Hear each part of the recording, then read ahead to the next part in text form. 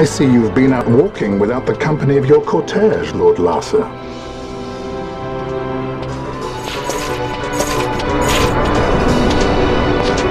We caught her wandering out of the mines. You must take care with such undesirables about. I was kidnapped. Silence. If it is a crime to wander on one's own, then I too am guilty.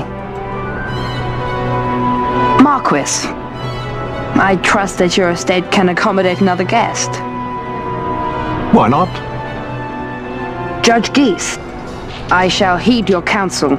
I will not travel unaccompanied any longer. That was unexpected. Thank you, Penelo. Uh, of course. What's Penelo doing? And what's the deal with that Lamont? That's no Lamont. Larsa Ferrinas Solidor, fourth son to Emperor Gramis and brother to Vayne. What? That kid? Do not worry. I believe he will treat her well.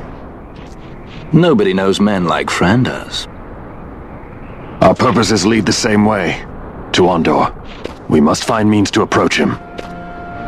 The Marquis is channeling money to organizations opposing the Empire. We'll start there.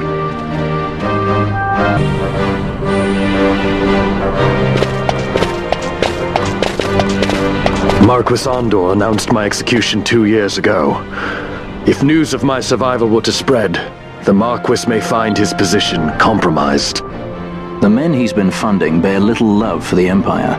They won't be thrilled to discover that rumors of your death were, in fact, greatly exaggerated.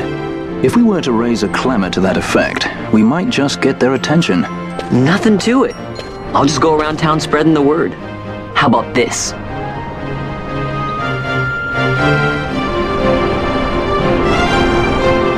I'm Captain Basch fon Ronsenburg of Dalmasca.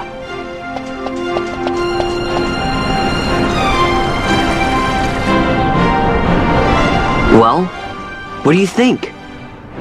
That certainly qualifies as a clamor. All right, Vaan, get to it. For the girl's sake, eh? Oh, and the more people around to witness your little performance, the better. If we're going to reach the Marquis, it's up to you. We'll be waiting here if you need us.